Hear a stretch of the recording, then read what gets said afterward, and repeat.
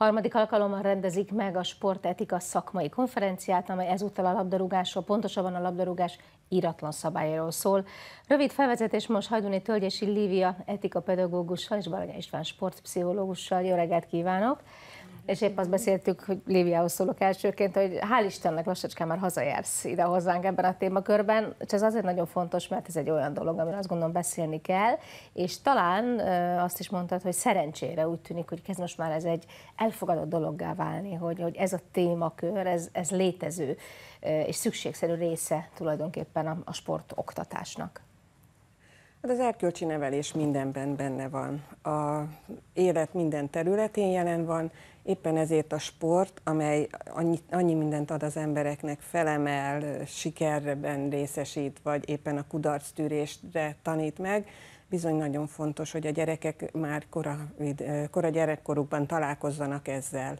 Ennek okán is fejlesztettem ki annak idején a sportetika sport erkölcstan kerettanterveket, hogy már az iskolában találkozzanak ezzel a gyerekek.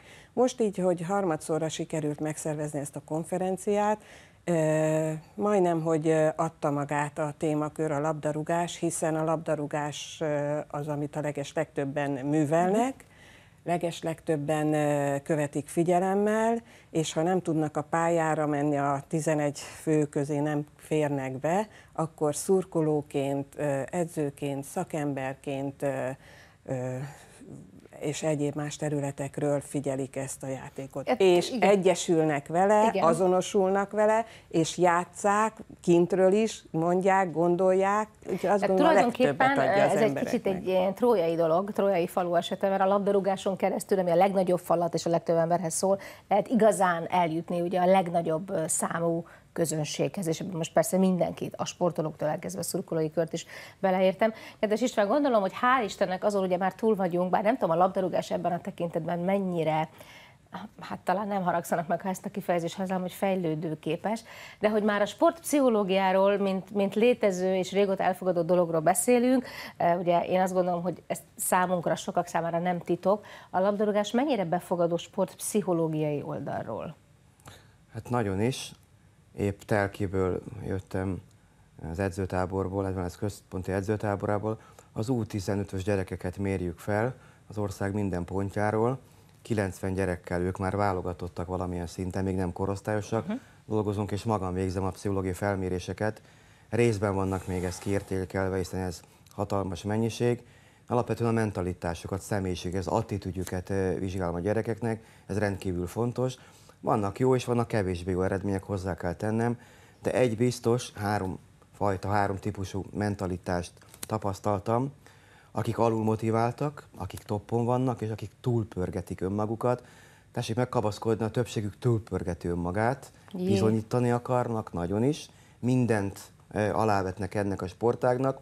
Ez nem biztos, hogy a teljesítményünk szempontjából optimális helyzetet ad, ezt helyre kell tenni az edzőknek, ez az ő dolguk, példaképekre van szükség, mm. erkölcsiségre és hitelességre és egy biztos jövőképre, és szerintem a magyar labdarúgás jelen pillanatban jó úton jár ebben a szempontból. Ez nagyon fontos, amit mond, és, és ez azt is jelenti, hogy, hogy tulajdonképpen a, a mai edzői kar is kellően fogékony, és nem hogy segítő kezet nyújt, hanem kapaszkodó kezet nyújt az önök munkájában, mert azért kérdezem ezt, mert azért ez valljuk meg nem volt nagyon jellemző azért az elmúlt évtizedekre, különösképpen mondjuk a felnőtt válogatottnál, hogy valaki komolyan vette volna egy csapatnak a sport pszichológiai felkészítését. Tehát egy picit nekem mindig az volt az érzetem, hogy majd mi megoldjuk okosba, tehát majd én tudom, de, de ezek szerint ma már azért ebben fejlődött ez a műfaj. Nagyon is hozzá kell tenni, nem tudom mennyire ismerik a kedves televízió nézők, az edzőképzés és az edzőknek a tevékenysége, a kiválasztás, az párhuzamosan működik. Én dolgozom az MLS-ben, az edzőképzésben is, edzőket oktatunk,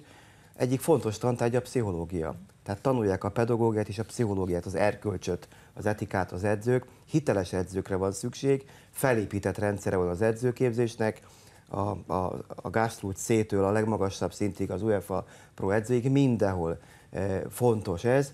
Úgyhogy azt tudom mondani, hogy a kettő együttműködik, lesz és kell is, hogy legyen eredmény, nincs más út a magyar futballban.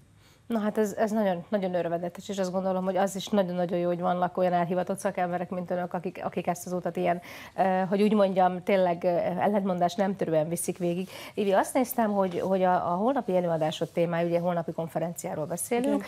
ami gyakorlatilag egy, egy nagyon érdekes felvetés, mert a labdarúgás a te felfogásod szerint, vagy az előadásodnak a cím szerint több, mint sport, életminőség.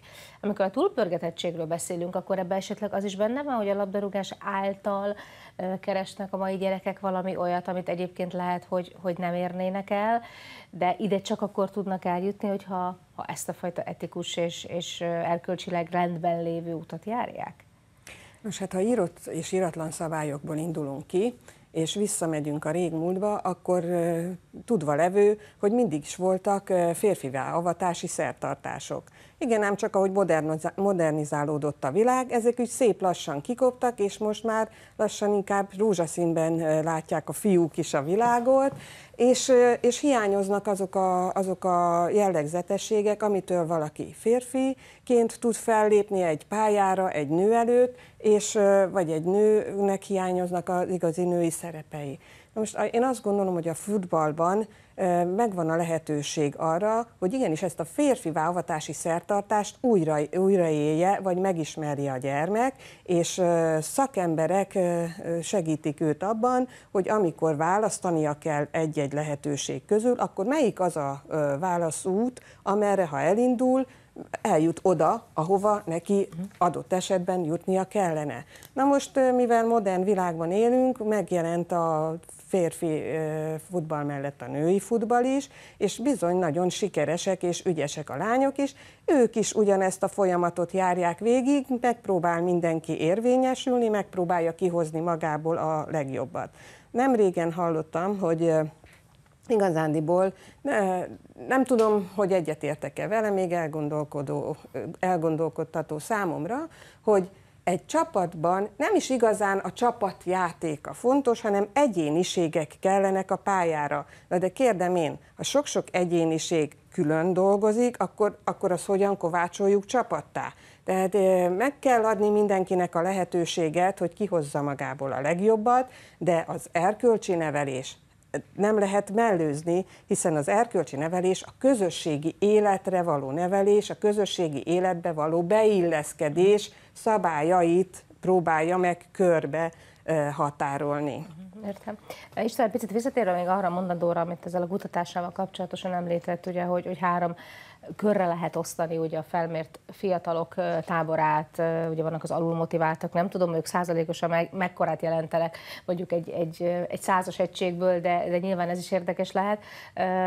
Nyilván mindenre megvannak a módszerek. A feladat részben az, hogy az edzőknek át kell tudni adni azokat, a, azokat az eszközöket, amivel az alulmotivált, a topra hozható, a tülpörgetett pedig egy picikét rendezhető, tehát hogy megtalálja végre a saját ritmusát? Világos, tehát egy sportpszichológus az soha nincs az előtérben, a háttérbe dolgozik, egy szakmai tímnek a tagja. Valljuk be őszintén, nem túl sok helyen alkalmaznak sportpszichológusokat. Erre próbáltam utalni még a legelején a beszélgetésünknek. Magyar Labdarúgó Szövetségnek eh, elemi kötelessége pszichológusokat foglalkozni, főleg az utánpótlásban, az akadémiáknak, élvonalbeli kluboknak úgy szintén.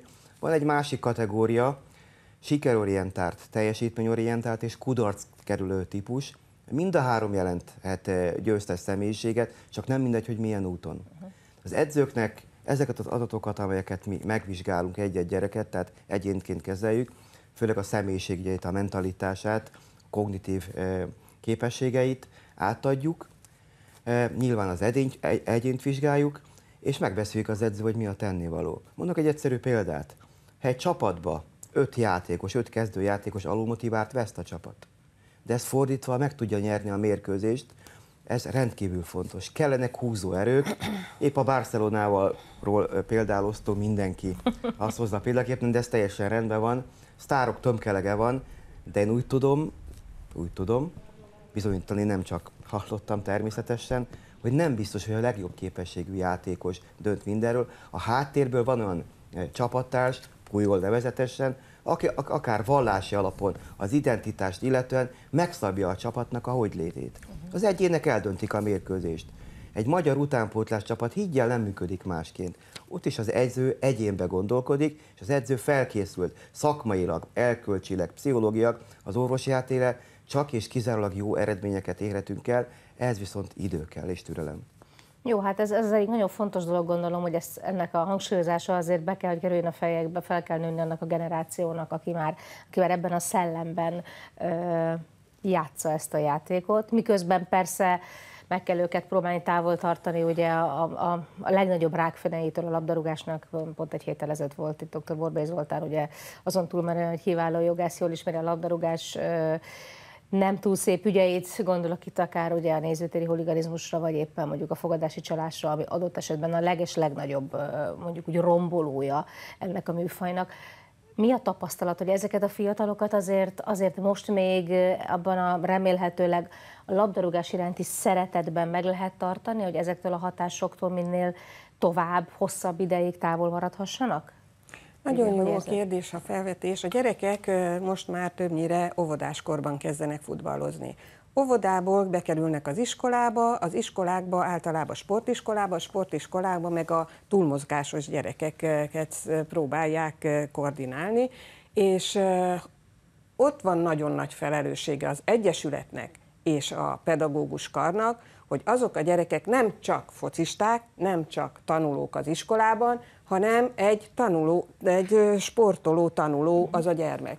Na most arra kellene nagyon odafigyelni, hogy a gyerekek elmentek egy olyan irányba, hogy én NB1-es focista leszek, én világbajnok karatés leszek, én, én már öttusa nem tudom én milyen csodabajnok vagyok, nekem nem kell tanulni és hála jó Istennek eljöttünk, eljött az az időszak, hogy betele, én a Csanádi Árpád sportiskolában dolgozom, és betelefonálnak az edzők, hogy hanyas jegyei vannak a gyereknek, mert ha hozza az egyeseket, ketteseket, már pedig hozza, mert rohan edzésre, akkor bizony ö, retorziókat fogunk alkalmazni, hiszen megfogalmazódott most már az edzők fejében is, hogy az a gyerek, aki nem képes a logikai meg, ö, meglátásokat megtanulni, nem képes figyelni az órán, nem akar fejlődni ott is, akkor nyilvánvalóan a pályán se fogja tudni hozni. Ennek azért örülök, hogy ezt mondod, Lívia, mert régi emlékek jönnek elő nálunk. Ez úgy indult annó az edzése, hogy minden héten megnézték az ellenőrzőnket, és a csapatba kerülés Na, feltétele volt a bizonyítvány.